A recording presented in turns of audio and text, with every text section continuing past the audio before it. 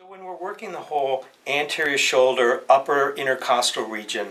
um, I like to experiment and evaluate both the shoulder region as well as this clavicular and even the upper rib area. So obviously with boundaries and permission we're going to explain what we're doing, why we're doing it, and get permission from our clients. I'm going to put a hand on both sides of the shoulder and I'm going to gently move in toward the table, but I'm also going to do a little bit of a teeter-totter, rocking back and forth, comparing the sides, taking note of any sort of verbals or nonverbals that my patient gives me. But then, with her permission, I'm going to move down into the upper aspect of the ribs, one hand, both hand, and we're just doing some evaluation, comparing and contrasting until we find something that both of us agree on,